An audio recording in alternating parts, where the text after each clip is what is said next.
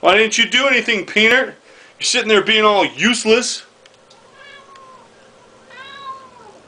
Peanert, you want that? You want to get that, Peanert? You want to get the moth? It's way up here on the, in the ceiling of the hall. He, he can't get it. He's just bitching. He wants it bad, but he can't get it. Peanert, you want it? You want the moth? I know you do. Okay.